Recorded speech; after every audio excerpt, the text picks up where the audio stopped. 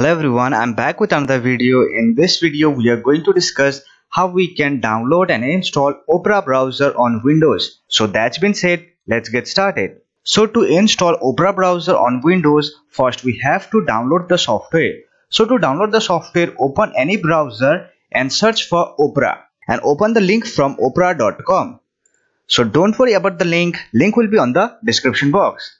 So this is the official website of Opera browser Opera browser is a very popular browser so it is available for Windows, macOS, iOS and Android. So to install Opera browser for Windows just click on computer browsers and here you get your operating system. If you are going to download Opera browser for macOS then click on Mac and here you get Opera browser for Mac and click on download now to download Opera browser for Mac OS.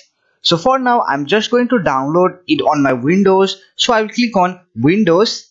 So here we get Opera browser for Windows. Best part of the browser is that it has inbuilt ad blocker and VPN. So if you want to use VPN, then you can use VPN with the help of this Opera browser. You don't need to download extra VPN software to access other websites.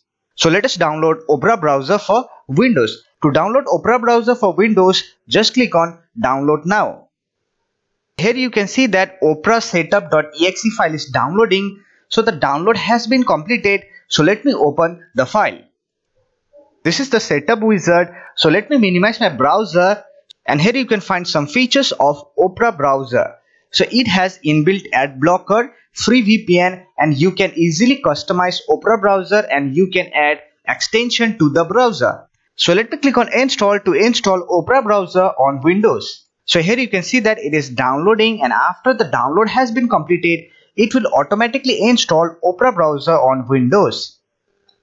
Opera browser is installed on my Windows. So here you can see the layout of Opera browser and on the left hand side corner here you get two popular messaging app. One is Facebook Messenger and another one is WhatsApp. So with the help of Opera browser, you can use these two messaging service on your Windows computer. So let me show you how you can enable ad blocker and VPN on Opera browser. For that, just click on this Opera icon, then go to setting.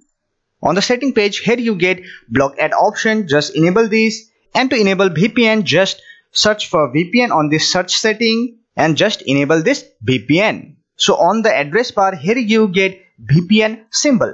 Let me tell you when to use the VPN service. If there are some websites which are blocked in your country, then you can use VPN service. With the VPN service, you can easily access that blocked website. So don't always keep this option on when there is some website which are blocked. That time you can use this VPN service. So this is how you can install Opera Mini browser on Windows 10. So that's it for this video. If you like this video, don't forget to hit that like button and subscribe to the channel for more videos like this. So bye for now. See you next video.